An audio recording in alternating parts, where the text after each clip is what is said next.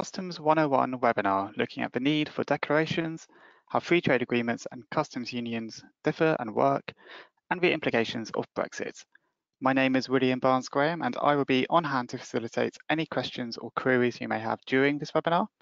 You can use the control panel to the right hand side of your screen to ask any questions and send in comments at any point. Next please.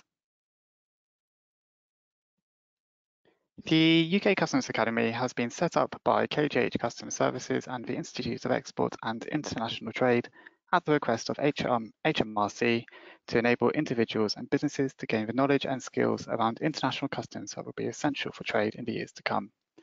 The Academy is evolving to become an essential resource for industry professionals that not only offers leading edge training and, uh, and education, but also a unique range of individual and business membership benefits to support the profession providing invaluable business resources, advice on industry best practice, and a virtual community for industry professionals. Before we begin today's main presentation, we're going to be running a few straw polls today, beginning with the first question, which I'm launching now. And this question asks, during this period of social distancing, how much time have you dedicated to online training each week? The options are 10 plus hours, 6 to 10 hours, one to five hours or uh, well, zero or zero to one. Um, I'll leave that open for a few seconds for people to answer. Um, appreciate not everyone's always able to answer using the GoToWebinar system, but uh, hopefully most people will be able to click on one of those checkboxes. And at this point, I will, while letting you answer, I introduce you to today's speaker, who is Steve Cock from the Academy and also KGH Customs Services. Hi, Steve. Hi and thanks very much. Great. So, so, um, so I'm just going to close the poll and share findings. So that's quite a lot have done a little bit of 65% saying one to five, and there's a few of you out there who have done even more. But uh, at this point, I'll hand over to you, Steve. Thanks very much. so as, as Will indicated, um, uh, I'm currently Director of Consultancy for KGH Customs Services, uh, and KGH is one of the partners who uh, set up and maintain the Customs Academy on behalf of UK uh, government. Um, formally, I started off my working life as a customs officer in the UK, and I've been providing uh, consultant uh, consulting to industry for about the last 20 or so years. So in this uh, webinar, we're going to almost go back to basics and look at why uh, declarations are required, what goes into those, those, declarations, and what the implications may be um, as a result of the move to formally leaving the European Union at the end of the year. So as we're going back to basics, the first question is, why have customs duty? Uh, and the answer simply is to protect the home market uh, within the country or the territory uh, to ensure that uh, manufacturing can survive against competition, that agriculture uh, can uh, maintain its place, and so that the market, the home market, doesn't potentially become flooded with imports from outside the territory. The other reason, of course, is taxation. Uh, so governments, uh, one of the, the, oldest forms of taxation is customs duty, and governments and trading blocs uh, collect customs duty uh, as one of their means of funding themselves. Generally, it's based on the value of the goods that are imported, However, sometimes, particularly in the agricultural sector, it can be based on the weight of the product. Uh, and a very good example is something like sugar.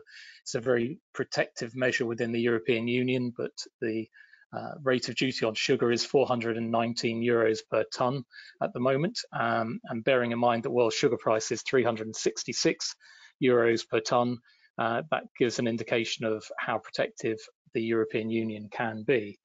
Um, Duty can also be based on the number of units, watches, for instance, it, it's based that way.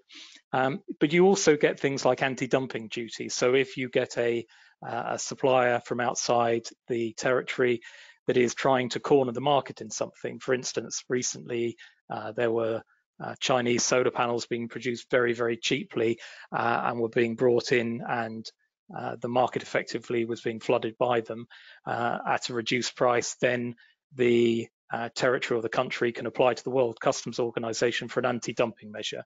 And that's a, a rather punitive rate of duty that would be applied to those goods. Uh, you also have, in the, the, case of the UK, you have the national tax of VAT uh, that is also applied. So customs duty goes to the European Union as we're a member state, but VAT is collected and retained by the UK, again, based on value, normally 20%, but there are exceptions. So the other reason we have uh, the need for declarations and, and, borders is to control the goods that enter a country. Now, at the moment, there's a lot of talk between what's happening between the UK and the EU as far as uh, Northern Ireland and the Republic of Ireland is concerned. And that tends to be around uh, conformity in uh, electrical goods. Uh, we've all heard of uh, uh, chlorinated chicken, uh, the, the, quality of the slaughtering that takes place um, outside of the European Union is also brought into question. So there is control on goods and that's exercised at the borders as well. So particularly firearms, military equipment, drugs, uh, animals, food checks, that kind of thing. Also artwork. Um, expensive artwork cannot be removed uh, from the community without a, an export license. so what is a customs union? Uh, a customs union is effectively a collection of countries that all behave together uh, as a uh, as a union uh, for customs purposes. So if you bring goods into the European Union and you pay duty on them when they enter, you can then freely move them around the European Union without need for further declarations and without the need for additional customs duty to be paid. Um, as you can see in this picture, the UK is highlighted uh, as a country that is leaving the European Union at the moment, uh, and Turkey is an accessionary member to the European Union. It's been that for a long time, so it's not a formal member, but if you import uh, goods into Turkey and pay the duty on it, then effectively it, it is within the community. You do not have to uh, pay tax again as it crosses into the European Union from Turkey. However, a customs declaration is required. And in the same way, when we leave the European Union, a customs declaration will be required for goods coming and going. Uh, now, the European Union isn't the only uh, customs union within the world. Uh, there are a good number of them. Uh, as you can see in, in this picture, most are based in Africa or, or South America and they operate in, in much the same way. You will have a arrangement where not only can goods move freely, but services, uh, and there will be uh, conformity in terms of um, food standards, electrical standards, all sorts of different things. Of course, that will be bound up within the uh, the actual agreement that the parties to that arrangement have signed. So those are customs unions. It's where uh, taxation is controlled uh, centrally for customs duty. Conversely, you also have free trade agreements. Um, now, under these, you have separate trading blocs that have agreed to trade with each other under uh, unified terms. And so whenever goods move from uh, a supplier, so take the European Union's free trade agreement with Japan, when goods leave Japan, there will still be an export document. And as they enter the European Union, wherever that happens to be, there'll be an import document. Uh, but at that point, there will be the chance for the goods that are being imported to benefit from a reduced rate of duty. It wouldn't necessarily be all encompassing that all goods were covered by that arrangement, but generally you'll find that most are. Agriculture is often missed off. But if you can demonstrate that the goods that you're importing, in this case from Japan, originated in Japan, so they can't be manufactured in China, shipped to Japan, and then bought into the European Union that way. If they originated in Japan, then they would be able to be entered to the European Union, potentially at a reduced rate of duty. But on demand, you would have to be able to prove the origin of those goods. Uh, also, under a free trade agreement, it may be that it's extended to include goods and services uh, and all sorts of other factors can be included within it. And, and the free trade agreement that the UK government are seeking to agree at the moment with the European Union isn't so dependent on the fact that we're looking for free trade in terms of goods. It's being held up by all sorts of other factors on services and on things like fishing quota. Um, but a free trade agreement can include a great deal that is included within a customs union.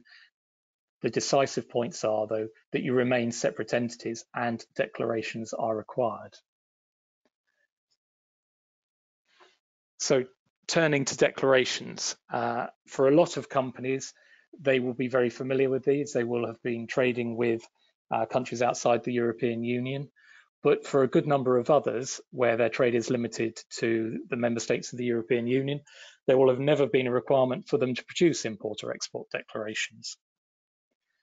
So what are they? Um, effectively, they're a means to allow for the control of the goods that enter the territory. Uh, they allow the territory to collect tax. I use the term territory because, of course, it can be a country or it can be a customs union. Um, it allows them to, to collect tax on those goods. Uh, if it's something that's being imported temporarily and then re-exported, it may be that they'll take security to ensure that those goods are going to be eventually re-exported. Uh, but it also allows the importer to state their intentions with regard to those goods to the authorities. For instance, I am going to import these, I am going to process them, and then I'm going to re-export them. So please don't charge me customs duty uh, because I'll eventually prove that they've gone.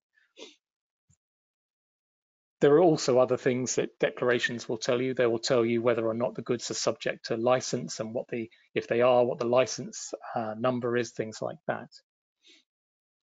So when making a customs declaration, uh, for, for those individuals and companies that haven't had to deal with this before, there's a lot of data that you have to get into them. And that's why brokers are required. They're experienced in pulling this information together.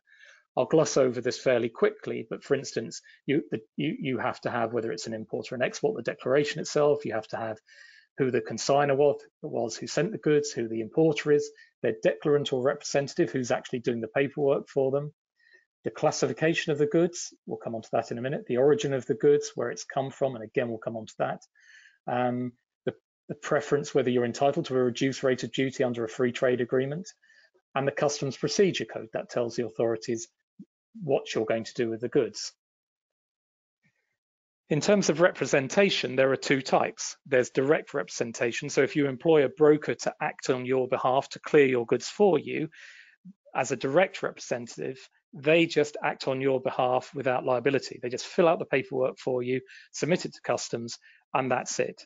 An indirect representative will complete the paperwork, but they're equally liable for the amount of duty or VAT that the, the principal, the importer, is, is liable to pay. Why do you get the difference? Because if you have somebody who's with, not uh, a resident of the country of importation, they cannot import in their own name because at the end of the day, if there's a bill to pay, the authorities have to have somewhere where they can go to charge that money. So often agents are required to act as indirect representatives for their clients, but it's something that they're reticent to do. So post Brexit, this will be quite a big thing. If you export from the UK, you're resident here, not a problem. If you're importing into France, Germany, or elsewhere, and you do not have a legal entity there, you will potentially have to find yourself an indirect representative. And they won't necessarily be queuing up to take that particular work.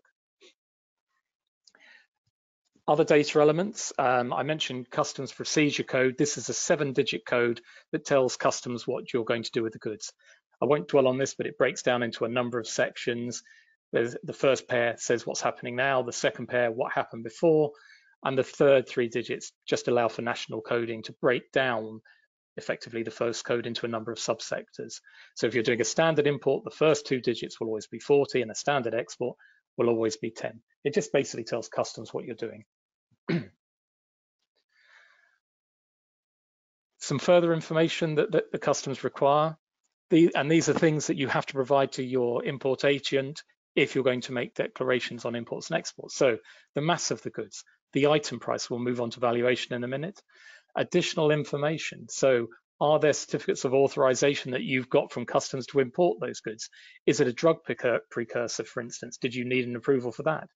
Do you have a phytosanitary certificate because you're importing uh, foodstuffs? You also have to have a statistical value for the goods, and then based on that, the calculation of taxes take place. And there's also got to be the place and date of import. But as you can see, the final item is 54. So at the moment, there are potentially 54 data elements that might be required in a customs declaration. That's under the current import entry system called Chief, which is going to be replaced at some point by, by uh, HMRC. And at that point, the data set's going to get bigger. But it shows the kind of information that brokers have to deal with and that importers, exporters, if they aren't already used to dealing with, will have to deal with it in the future. So I'm going to hand you back to Will now for a second poll. Great, thank you. Thank you, Steve. So just going to launch the second poll, which is how prepared do you feel for changes to trade with the EU at the end of the transition period? And the options on a scale of very prepared to not at all prepared, and I'm not sure field there as well.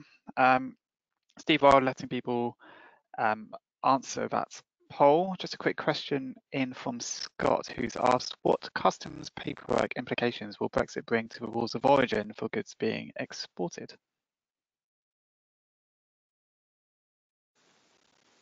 There, there will be quite a lot of um, implications in terms of if you want to take advantage of a free trade agreement, uh, you're going to generally have to fill out paperwork uh, to go with those goods. You're going to have to be able to prove that the goods are of um, UK origin, and we'll come on to that in a second.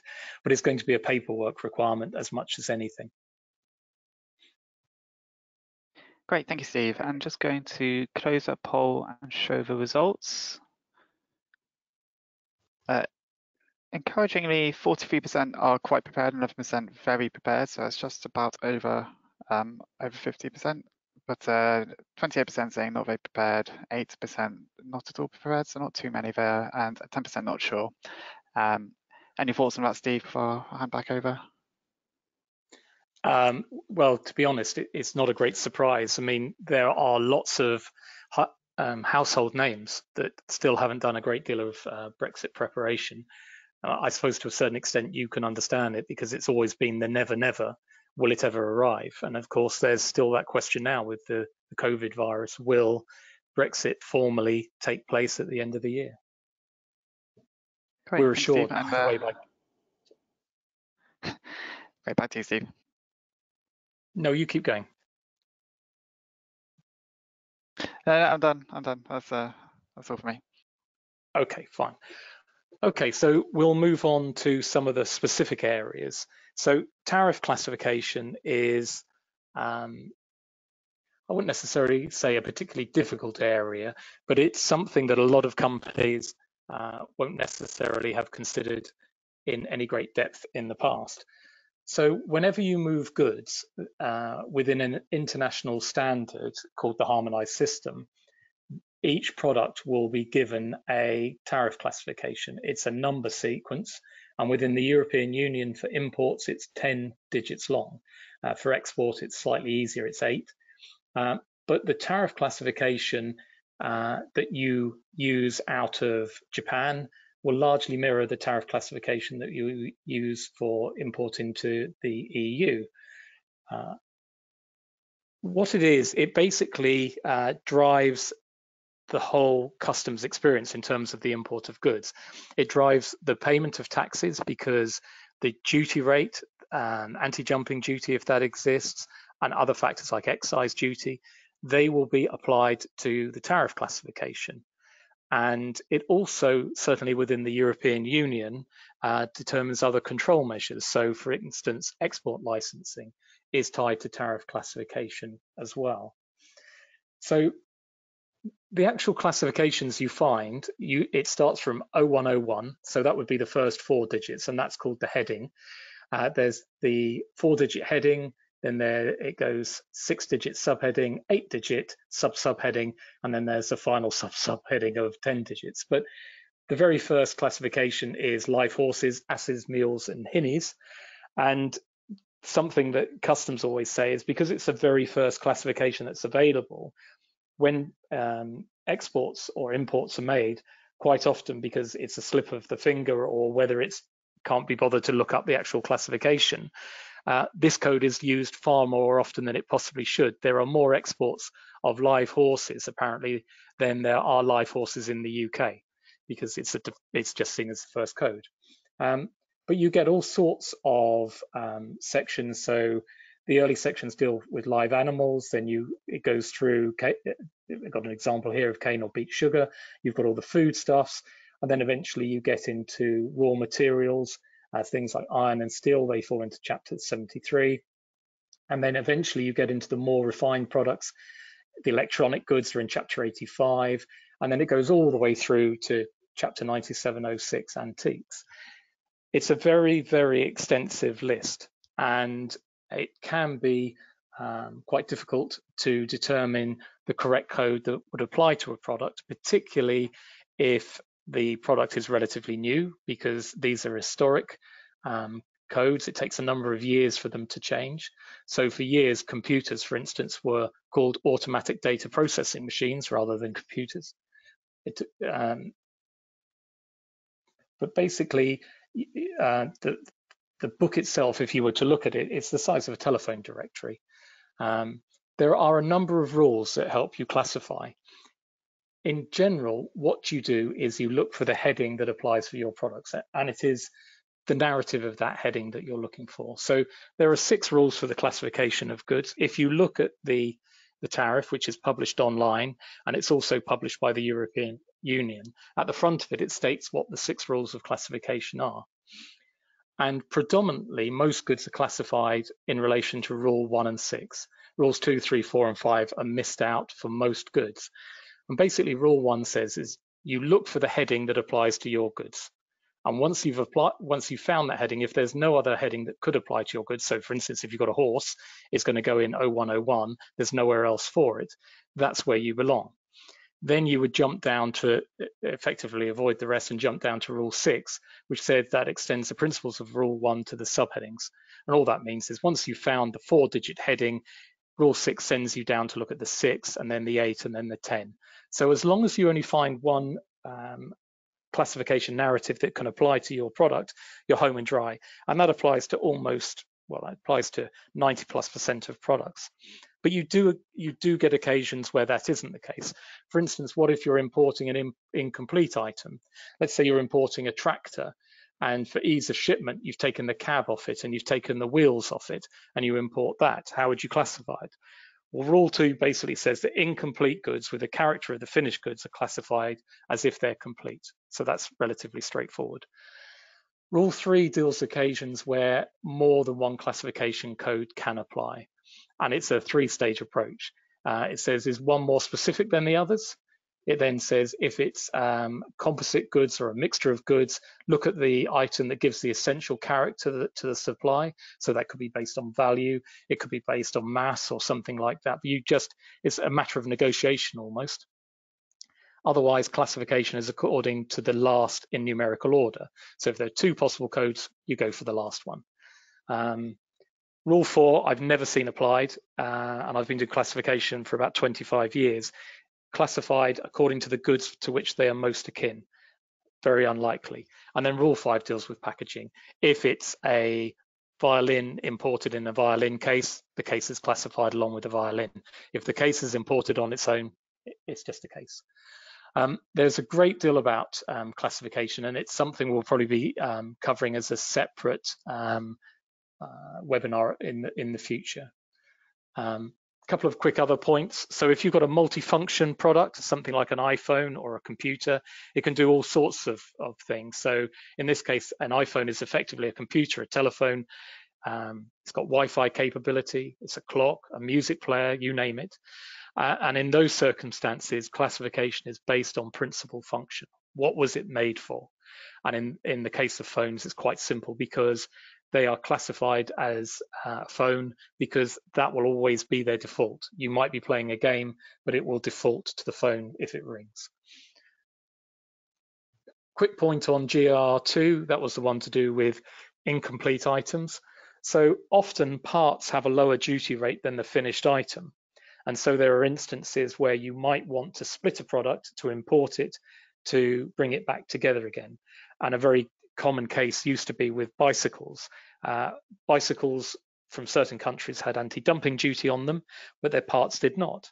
And so to avoid the anti-dumping duty, the punitive rate of duty, the bikes, not quite like this, but the spokes um, and the wheel at the front would have been imported in one container and the, the back end of the bike in another container. You could never say that without the front and the back, you had a complete item. The problem was when, when com companies were doing this quite often, they might have shipped them in different containers, but they were arriving on the same ship. And if that's the case, then that counts as a single supply. So the declaration for, for that to work as a supply of split item, you'd even have to do it as different ships.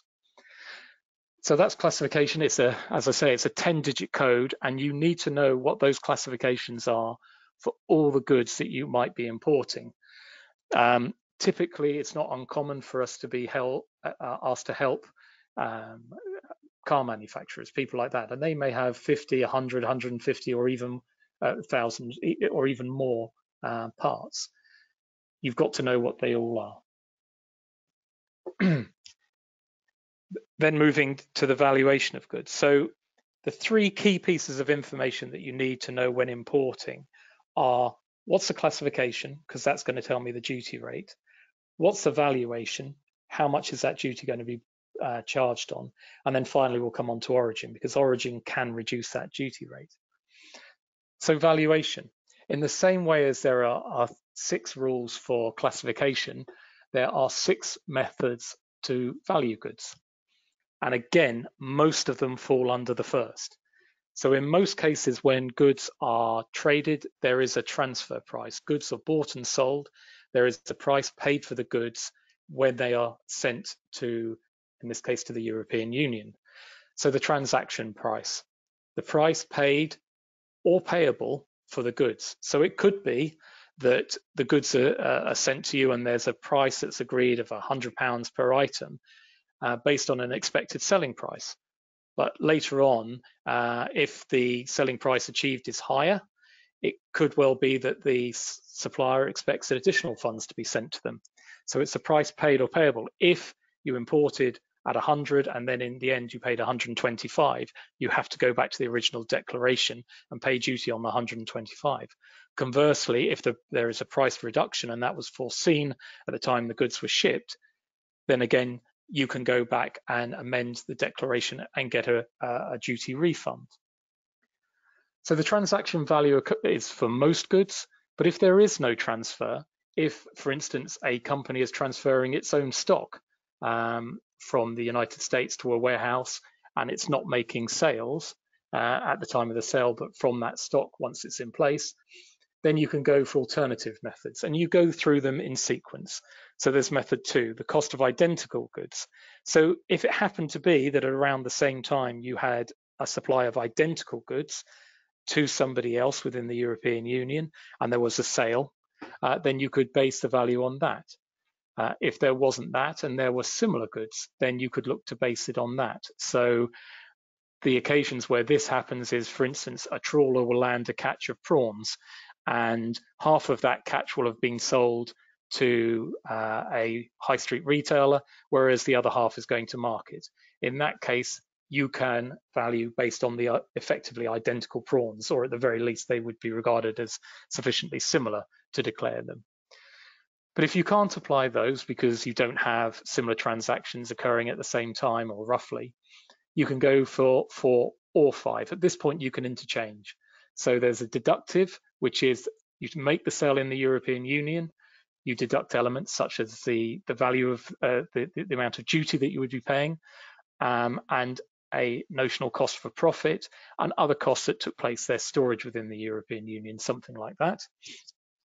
Method five is a computed value based on the import value. So the cost of manufacture, the cost of shipping the goods here, an additional element of profit for the supplier.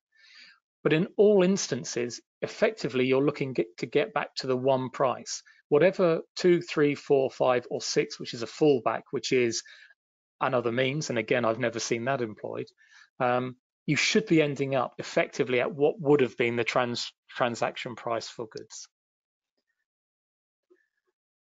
So under method one, there will be occasions where you have to alter the invoice price when you declare it to customs. So on a basic level, you have to pay for the cost of shipping, the freight costs to the European Union border. I mean, that will change to the UK border once we've left the European Union. But typically, the, the value for duty is the cost of the goods plus their, uh, their freight and insurance costs to the border.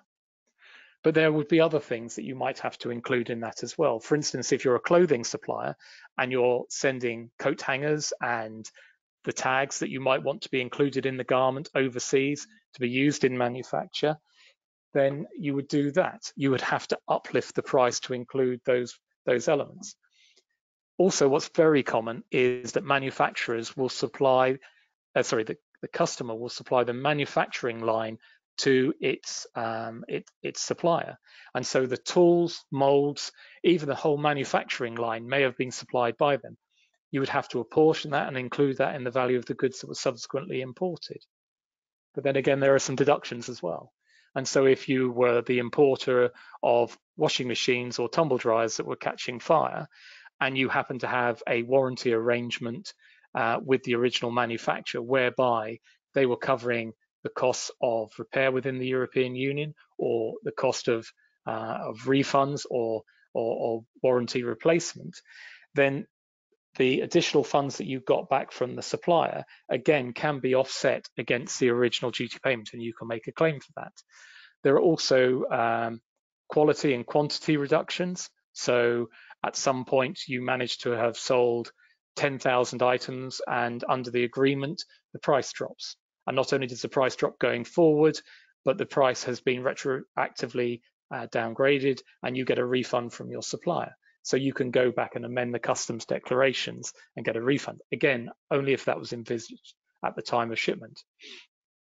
There are, there are some other minor ones to, as well to do with exchange rates, uh, transfer pricing adjustments and, and financing as well. So that's valuation. And then the third key thing is origin. So when you come to make a customs declaration, you have to say where the goods come from. And there are two types of origin there is origin for non-preferential purposes, and then there is origin for preference under a free trade agreement. So origin for non-preferential purposes is just to say where the goods came from effectively. And that will be wherever the last substantial economic operation took place. So lots of simple things, sorting goods, changing the packaging, putting them in sets, so bringing together a hammer, chisels, putting them in a set, that wouldn't change the origin. Putting labels on them, the, the very basic things won't change their origin. Basically, it's got to be in a process that adds value significantly, that it's an actual working uh, in a production line, for instance, equipped for that purpose, um, or something that brings about a new product. But that wouldn't affect the uh, ability to claim a reduced rate of duty under a free trade agreement. Rather there, there will be specific rules that govern whether you've uh, attained the origin for that particular country. And they will be laid out in the free trade agreement that exists between the parties. And so each free trade agreement will be different. The one that we might negotiate with the European Union, if that ever comes about, will no doubt be very different to the one that exists between us and the United States but only originating goods can benefit from reduced rates of duty. So it's very common um, on the world um, scale for goods, for instance, to have been produced in one country to be diverted through a country that offers a preferential rate of origin and to be rebadged. So it is associated with a degree of fraud and therefore the authorities do police origin very carefully. So free circulation does not confer origin. So for instance, if uh, Chinese goods were entered into Japan and were duty paid in Japan, that doesn't mean they've become Japanese origin. So the typical rules of origin are wholly produced, so something that was made there completely, uh, where there's been a change in eight digit tariff classification. So if you go within a tariff chapter uh, sorry, a tariff heading at the four digit level, you'll have a number of subheadings. And commonly, you'll have one that is parts and it will be at the eight digit level. So if you manufactured a, a mobile phone, for instance, all from mobile phone parts, then that will have changed eight digit tariff classification because a phone is different to its parts. There are also rules to do with added value. So the value of non-originating parts falls below a, a, predetermined value. That's generally 40%. So it might be that in Japan, you've got a product being made uh, out of Chinese components, but they're uh, adding to the, uh, the value of the product by bringing those components together and then adding on a level of profit. As long as the value of the non-originating Chinese components is uh, below 40%, then that product has now become Japanese for preferential purposes as well as non-preferential. Just to quickly go through a few of those. So wholly produced. Uh, these are most common in the agricultural food sector. So no other country is involved in their production. Uh, the smallest addition of material in processing um, in another country will disqualify the product.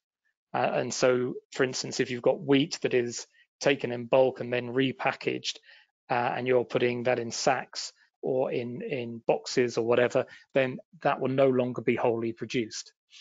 Um, so manufactured products very rarely meet this criteria unless you know for a fact that everything that's going in it has been sourced from that country.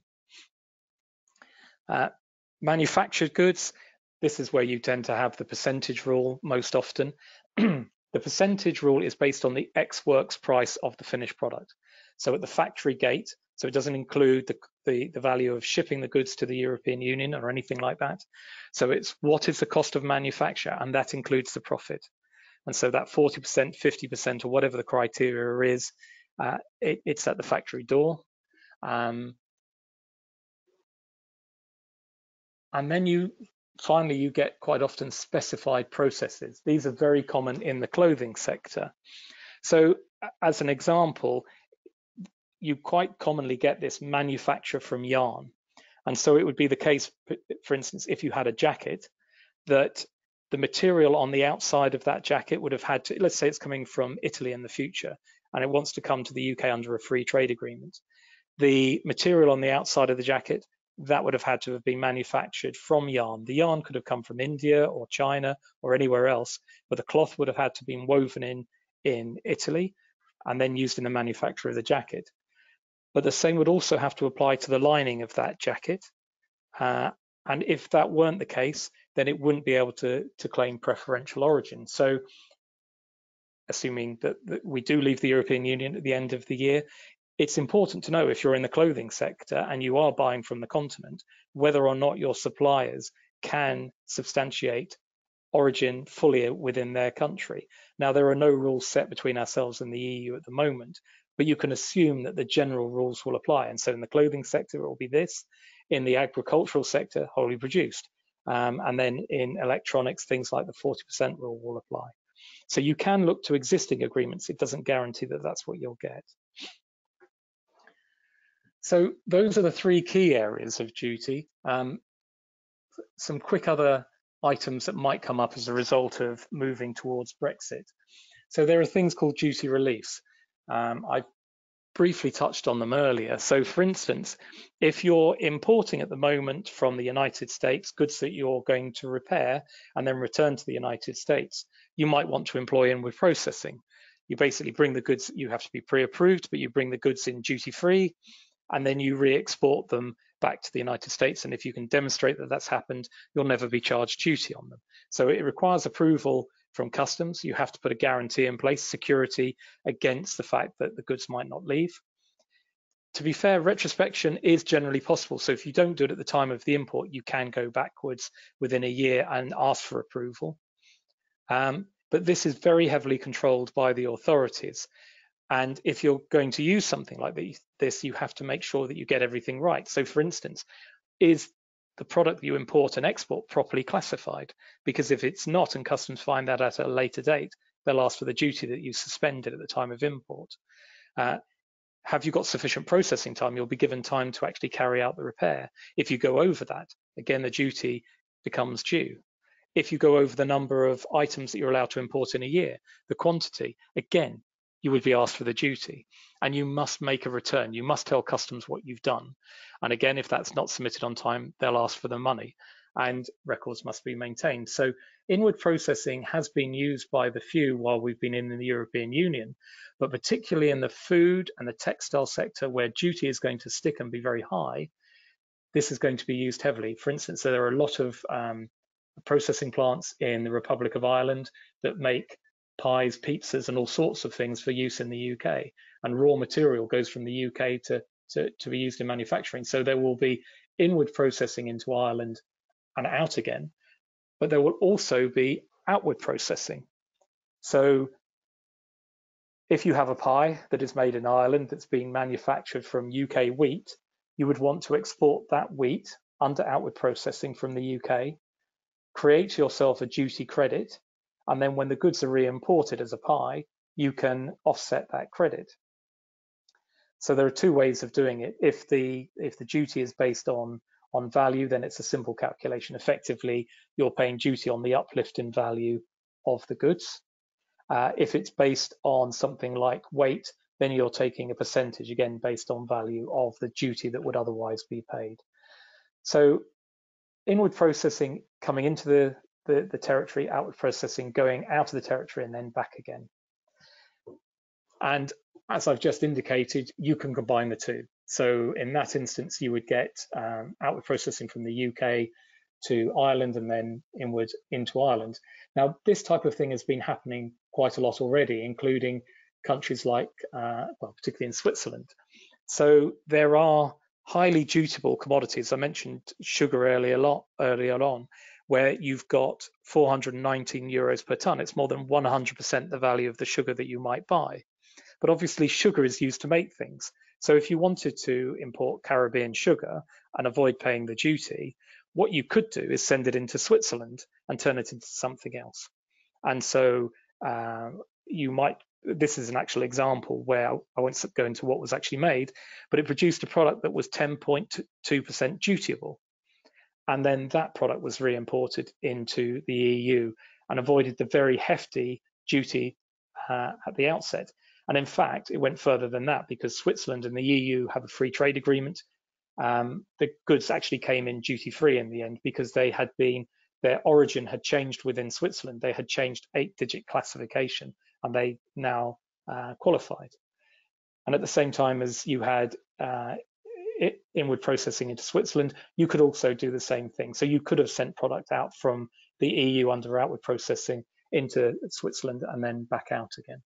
So that kind of processing that has been carried out commonly in Switzerland, of course, once we leave the European Union, that could happen here. And so you could have French companies sending goods through the UK first and then imported into France once they've been processed. So finally, the question of, of Brexit.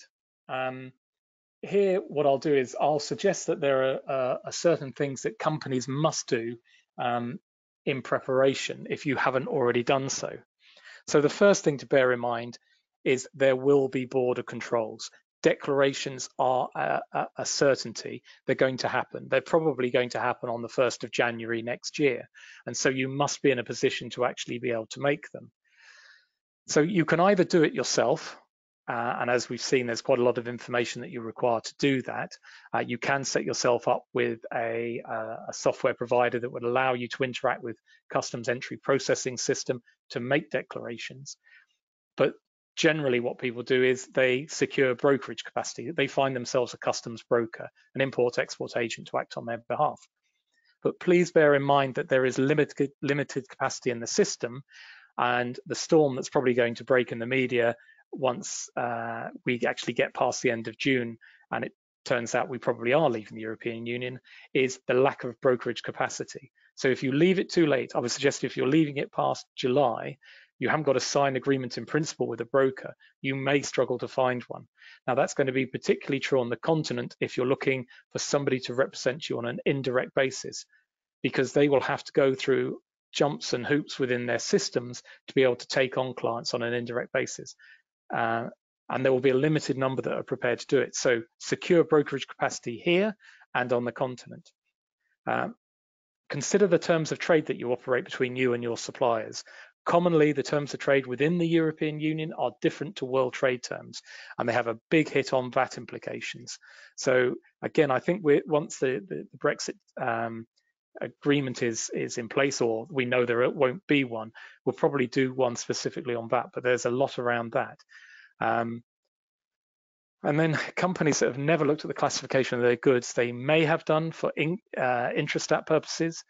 You should look at it better now because tax uh, will apply to it and the authorities will be much keener to look at them.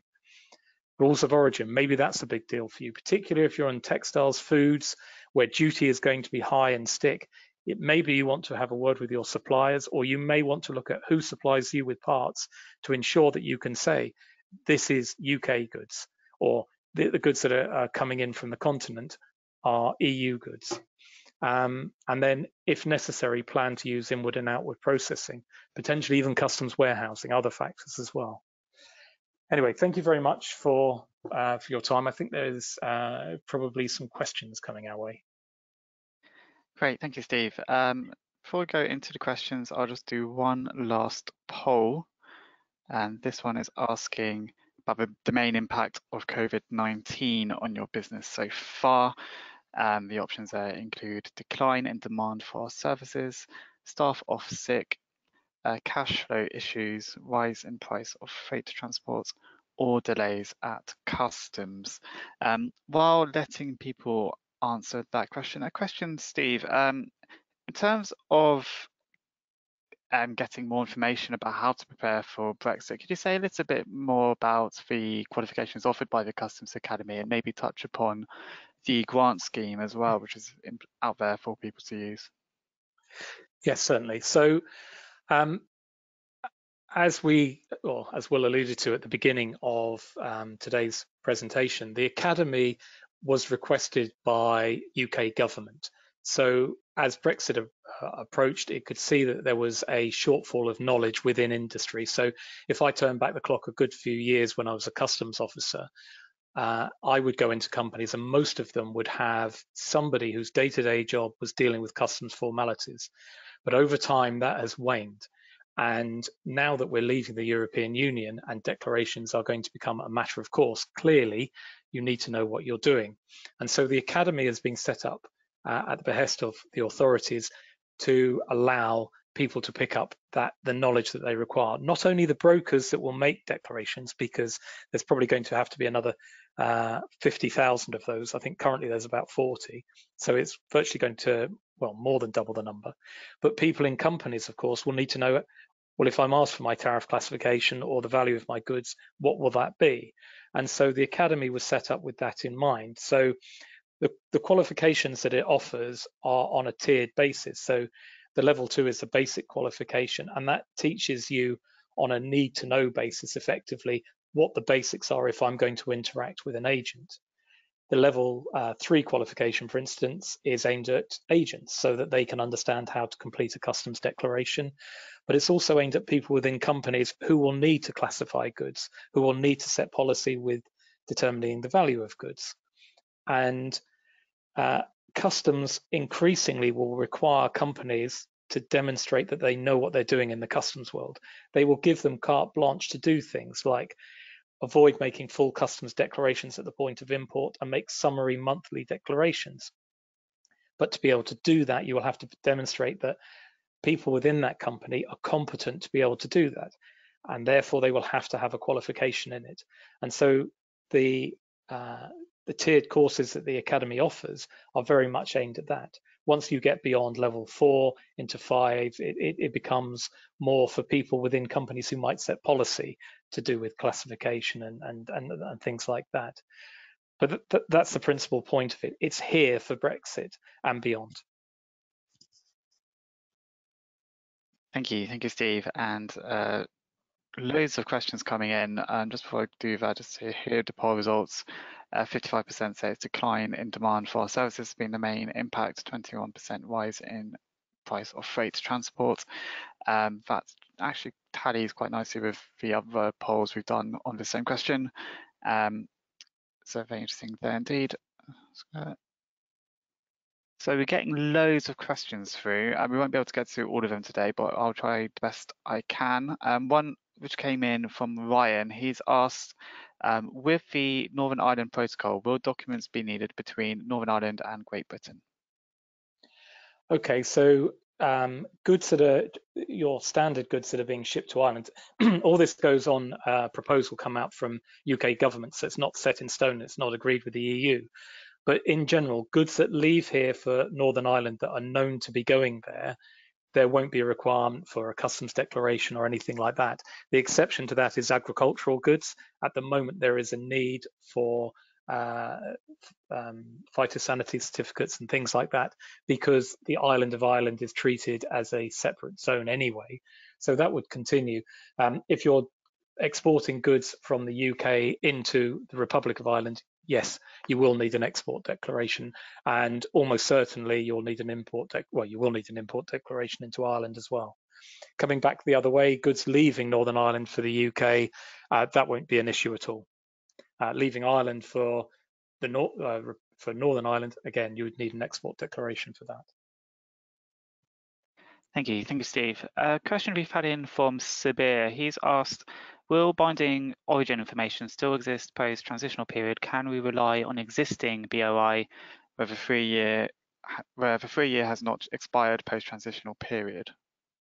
Okay, so binding tariff information and binding origin information if you want the authorities to say this specifically is the classification of your goods, or yes, we agree that your goods are of UK or EU origin, um, uh, you can apply to the authorities for that. With regard to tariff, they probably will continue. With regard to binding origin, there's a real question on that because origin can be dependent on goods that have been supplied from Germany, China, uh, Germany, uh, France, Spain, other member states. So it could impact on it because if those countries, we're obviously not part of that bloc anymore. If those parts have gone into it, that could affect origin. Um, so at the moment, no, I suspect that might not be the case, I'm afraid. Thank you. Thank you, Steve. A question in from Zanita is asked, are outward processing or inward processing relief serial number specific or are they commodity code based? Uh, they're commodity code based. So, um, and it's at the eight digit level. So as long as the goods um, exist within that, you should be fine. A question from Sue, who's asked, do you know if Intrastat will still be required after Jan 21? HMRC has previously said, previously said yes when TSP was in place? Okay, so that's one of the, the biggest questions and unanswered questions at the moment. So for those who aren't aware, TSP was Transitional Simplified Procedures. So this was an import mechanism to allow goods into the UK effectively without a declaration or a very minimal declaration at the border. Now, in particular across the Straits of Dover. At the moment, the government is supposed to be making uh, uh, uh an arrangement that is there to replace TSP, something a little more uh, significant. So maybe an initial message that goods are coming in at the border, very simplified. We've got some goods effectively, and we are uh, this company with this authorization number, um, and then make a, a declaration later on. Um, under uh, uh under TSP, um, that was effectively the only option that was open to customs at the time because they had no ability to bring in bring in controls at the border. And it's almost certain that there is insufficient time between now and the end of the year for something markedly different. And so I would imagine something similar to TSP will exist. Sorry, can you remind me of the question? Did that answer it? Uh, sorry. Uh, yes, I think so. Um, yeah, it does, I think. Um, okay. So moving on, a question from Judith and also Adriana, basically asking around who's going to be able to complete customs declarations. Judith asked, do couriers such as TNT and DHL qualify as customs brokers? Adriana says uh, she was under the impression that freight forwarders would be in a position to complete customs declarations. Okay, so in effect, anybody can uh, complete a customs declaration. There is no requirement to be a licensed customs broker in this country. That may well change after Brexit, but it certainly isn't the case now. So I could go walk out the door, pick somebody off the street, um, put them behind a desk and say, here you are, this is a customs entry system, away you go. And they could start making declarations into the system. Um, there's a little more to it than that. Obviously, there are uh, licensing that you would need to have in place to be able to, to make those declarations with software providers, that kind of thing. But effectively, a company can choose to make declarations on its own accord. Um, you can go to the likes of TNT, DHL, the big shippers, uh, and ask them to make declarations on your behalf. Equally, you can go to independent brokers, KGH, who I've worked for, for instance, is one, uh, uh, George uh, um, Baker, and all sorts of other uh, big players in the market. You could go to them. But as I said at the outset, uh, or rather, as I said on the Brexit slide, brokerage capacity is quite limited, and a lot of existing brokers are saying, we have our client base, their volume of declarations is going to go up. So we're expanding our capacity to take on their additional capacity. And so though people are taking on new customers, that um, that is becoming an ever dwindling resource. And unless more and more uh, brokers are trained, and that is the idea partly behind the academy um, and other measures that the government's, I think, going to announce soon, um, th there isn't a great deal of capacity in the system. So get out there now and find it, I would suggest. Thank you. Thank you, Steve. Uh, a question in from Praveen Kumar, who's asked, would long-term supply declarations issued before Brexit still be valid after Brexit? And by Brexit, I take it means end of transition period. Uh, if the supplier is outside the European Union and it's to do with the supply under a free trade agreement, then assuming that free trade agreement is mirrored by the, the UK to the existing one with the EU, then I would suggest yes, it probably is. If it's a supplier's declaration to do with origin for goods leaving the UK, again, I would suggest they probably have to be revisited because the rules have changed. Countries like France, there's a thing called cumulation where all the member states the originating goods can be lumped together as if they came from the UK, but really some of it came from France or Germany. Those rules will have gone almost certainly, and therefore you would probably have to revisit supplier declarations within the UK. Thanks, Steve. I'll do a couple more questions because we're starting one low on time. A question okay. in from Linda who's asked, do you have any idea of when CDS will become live, the customs declaration system? And can you explain a little bit about what that will be? Um, I, I, all I would suggest is it's uh, uh, an ever disappearing target over the horizon. I don't know um, how and when customs will finally get it in place. That's about all I can say. It's um, it's had a, a pretty uh, turbulent time thus far, and nobody within customs is saying yes, we've got it right. It's going to be implemented. So um, I think we're sticking with CHIEF for the foreseeable future. Thanks, Steve. And one last question. Uh, I can't remember who asked it, but it's about AEO and it's just basically asking, could you explain a bit more about what AEO is and kind of how it could be used um, in the next few years? Would you recommend okay. gaining it? It's from Judith. Sure. I mean, AEO um, is um, authorized economic operator. It's basically an uh, approval um, given by customs once you demonstrate that your systems are, are, sufficiently robust to make sure effectively you're not doing anything incorrect within the customs world. Um, historically, it's had very few benefits that go along with it. Uh, the government is going to remodel it and call it a trusted trader program. And under that arrangement, people will actually get definitive benefits. So if you become a trusted trader, which is an approval process, um, you will have preferential um, clearance of goods. So for instance, at the Straits of Dover, your vehicles are less likely to be stopped. Um, and also you will get things like if you decide I need inward processing rather than to go through an approval process, which can take months, uh, the likelihood is you would be effectively pre-approved for inward processing. Uh, you would just have to notify customs that you decided to start using it, that kind of thing. So it, it, it's not been worth a great deal in the past. It's going to be worth a great deal more. Certainly that's the intention in the future. Thanks, Steve. Um, we've had absolutely loads of questions coming, still coming in, um, but we won't be able to get to all of them today.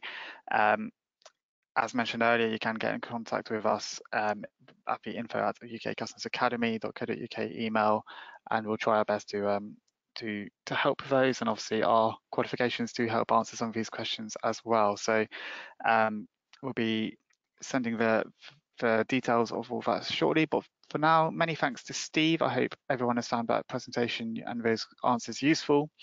Um, and uh, yeah, in the last slide, you should be able to see the contact details, which I will leave there for a few seconds before ending the call.